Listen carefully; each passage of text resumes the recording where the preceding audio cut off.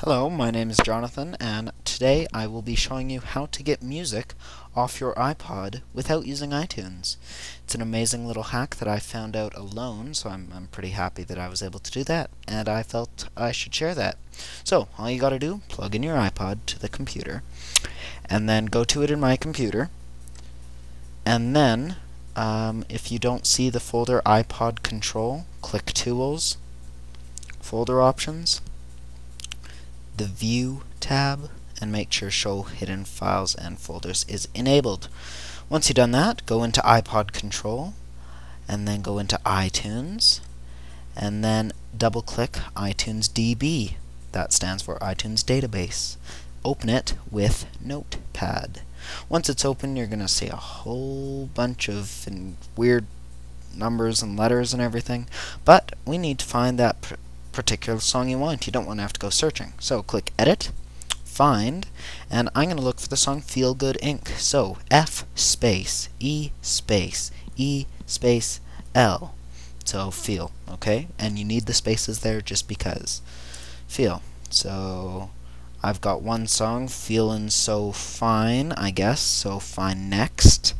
Freedom to Feel. Uh, feel, ooh, this might be it. Feel Good Inc. There it is. Okay, found it.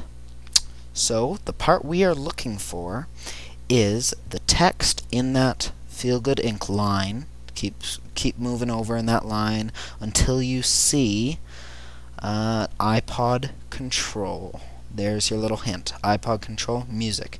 And here's our variable fo5 pmlx.mp3. That is what we're looking for. So that folder hold on, let me show you. F05PM lx.mp3. That's what we're looking for. So that tells us the location of the song. So go back to your iPod control part and double click music. Open music and go to that variable. F05 and mine is it's going to be here somewhere. PMLX right there. So there's the song. So then you would copy that right click copy. And you would then paste that into that computer. Paste. There's the gorilla the feel good Inc song.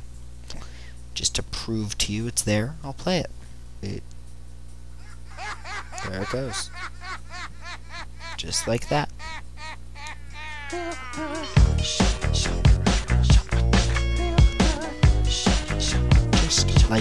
that. Thank you for watching. My name once again is Jonathan, and you have just watched a JP Films video on how to get music off an iPod without using iTunes. Thank you.